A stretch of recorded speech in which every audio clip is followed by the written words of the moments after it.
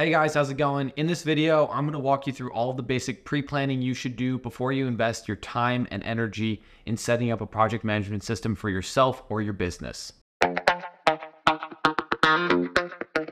If you're new here, my name is Dan Pavsik, also Infinite Prototype.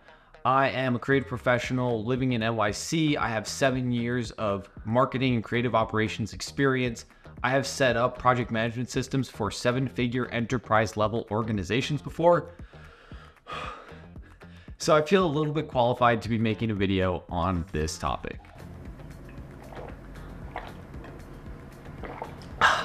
I'll make a few recommendations for software or apps that you can use at the end. So if you want to skip ahead to that, here's the time code. And it's important to remember that systems are not one size fits all. It'll take some trial and error before you figure out what works best for you and your team. And if you're working for a large organization, there are some more advanced features that you'll need to consider that I won't be covering in this video. So if you want me to make a video on that, please let me know in the comments below. Okay, now that we've got all of that out of the way, let's get into the questions themselves. First one is going to be Are you using this for business or personal project management? Now, there's not a huge difference when we get later on down the line, but it will determine how much money you should invest upfront and to what depth of features you'll actually need in a system. Are your projects simple or complex? Meaning, are your projects really just single issue tasks that you need to check off, or are they bigger initiatives with multiple steps and deadlines that you need to reach to achieve the larger goal of the project. Do you want to capture data? If so, what data do you need to capture? Is it time tracking, project type, customer type? Some systems will have those fields already put in for you, and some of them you'll have to set up the fields yourself. How do you want to view and visualize your projects? Do you want to look at them in a list, a calendar, a Kanban style board, a Gantt chart. The list goes on, and not every system will have all these options available to you. So it's important to think visually about what's important to you for understanding your projects before investing in a system. How many people will be using the system? Is it just you? Is it a small team of two to 10? Is it a large organization of 50 plus? Do you need to be able to include contractors or clients or external stakeholders in other departments to have visibility on your projects and your initiatives. And lastly, I want you to think about what does the future look like?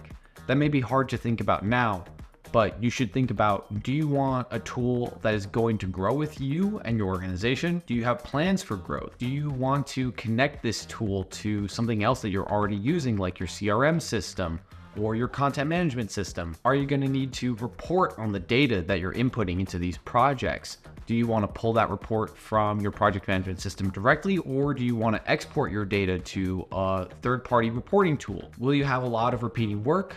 You want to know if your software is able to set up blueprints or easily duplicate and reschedule projects for later use. Do you want to be able to set up recurring tasks and projects? That's all really important to know based on the type of work you're going to be doing. Whew. Okay, I know that was a lot, but I promise it'll be worth it. Now, normally the next stage in this process is to do a ton of research and look at different tools and compare features side by side. Luckily for you, I've pulled a few options already so that you don't have to. Now let's review a few options based on the answers to the questions that we just went over. If your projects are really just single issues or tasks that you need to check off, consider a to-do list app like TickTick or Todoist. These are great to-do list apps. You can just set up your tasks, organize them, set a priority, view them in a calendar if you want to, and even assign them out to team members if you get some of the paid features. If your projects are a little bit more complex than single issue tasks, if you are a medium to large size organization, or you need custom fields and data, or if you're a one man army trying to run a YouTube channel like myself, then consider something like ClickUp, Monday.com, or Notion for your project management system. For large enterprise level organizations with a lot of users, projects, and resources at your disposal, I recommend something a little bit more complex like Workfront, Wrike, or Asana. These tools generally have better security, they're more customizable, and they afford you a lot of great integration opportunities with some of the tools you're probably already using in your organization. And there you have it, guys. If you followed along and answered all the questions to the best of your ability, then you're in a better spot than 99% of people who are starting this process by themselves. And if you have any specific questions for me, you can leave them in the comments below. And if you found this video helpful, please consider subscribing to the channel. It's the best way to let me know that what I'm doing is resonating and that I should make more videos like this. So with that being said, if you're still watching, Thank you. I appreciate you, and I'll catch you in the next video. Peace.